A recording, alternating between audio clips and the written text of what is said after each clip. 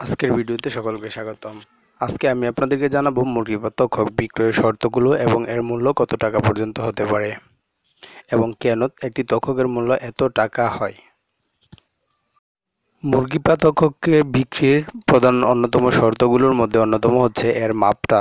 এর মাপ চোখ থেকে সাড়ে ষোলো হতে হয় এবং সাড়ে ষোলোর বেশি যত বেশি হবে দৈর্ঘ্য, এটার মূল্য তত বেশি যোগ্যতা অনুযায়ী বা ধৈর্য অনুসারে হয়। তো মিনিমামে সাড়ে ষোলো যদি একটা তক্ষক পাওয়া যায়, তো এবং সেটার মূল্য হয় প্রায় হাজার কোটি টাকার মতো। তো এছাড়াও বিভিন্ন তক্ষক বিক্রির আরেকটি শর্ত হচ্ছে আপনার এর ওজন সম্পর্কে। এর ওজন যদি দুইশো পঞ্চাশ গ্রামের উপরে হয় একটি মুরগি পার্থক্য, তাহলে সেটার মূল্য আছে প্রায় হাজার কোটি টাকার মতো। তো বন্ধুরা, আসুন জেনে নেই একটি তক্ষকের মূল্য কেন হাজার কোটি টাকা পর্যন্ত হয়ে থাকে। একটি মুরগি পার্থক্যক যখন সাড়ে ষোলো ইঞ্চি দৈর্ঘ্য হয় এবং এটার ওজন যখন দুইশো পঞ্চাশ গ্রামের উপরে বা কাছাকাছি বা দুইশো পঞ্চাশ গ্রাম হয়, তখন এর মুখের ভিতরে তৈরি হয় এক হাজার ধরনের ম্যাগনেট জাতীয় পদার্থ।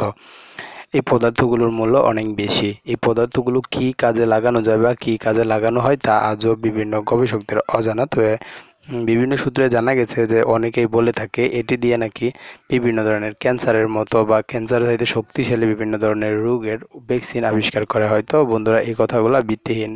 এই কথাগুলো ভিত্তিহীন হওয়ার কারণ হচ্ছে আসলে এইগুলা দিয়ে কি করা হয়, তার আমরা আসলে এর বিস্তারিত কোনো কিছু জানি না এবং বাংলাদেশের মানুষও জানে না। আশেপাশের লোক আশেপাশের দেশ যারা আছে, আমাদের প্রতিবেশী দেশ, তারাও হয়তো জানে না।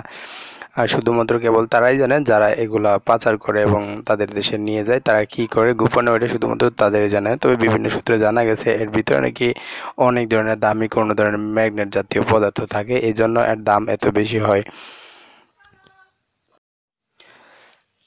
সর্বশেষ কথা হচ্ছে, একটি তক্ষক বা যে কোনো একটি প্রাণী একটি দেশের রাষ্ট্রীয় সম্পদ আর এ দেশের রাষ্ট্রীয় সম্পদ রক্ষা করা প্রতিটি নাগরিকের দায়িত্ব। আমরা যেন কেউ টাকার লোভে পড়ে এই ধরনের প্রাণী পাচার করার জন্য উদ্বিগ্ন না হয়ে পড়ি এবং এগুলো সংরক্ষণের দায়িত্ব আমরা নিজেরাই নেই। কেউ যদি পাচার করার চেষ্টা করে, তাহলে সে বিষয়টা যেন প্রশাসনকে অথবা বন বিভাগের লোকদেরকে জানিয়ে দেই।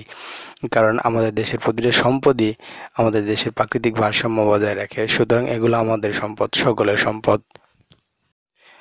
তো বন্ধুরা, আমাদের এই ভিডিওটি যদি আপনাদের ভালো লেগে থাকে, তাহলে অবশ্যই আমাদের চ্যানেলে সাবস্ক্রাইব করবেন এবং ভিডিওতে একটা লাইক দিন, লাইক দিবেন কমেন্ট করবেন এবং আপনার বন্ধুদেরকে যদি জানাতে চান শেয়ার করতে চান, তাহলে অবশ্যই শেয়ার বাটনে টাচ করে শেয়ার করে দিবেন ফেসবুকে বা মেসেঞ্জারে ইমোতে যেইভাবে হোক শেয়ার করবেন। ধন্যবাদ, ভালো থাকবেন, পাশে থাকবেন।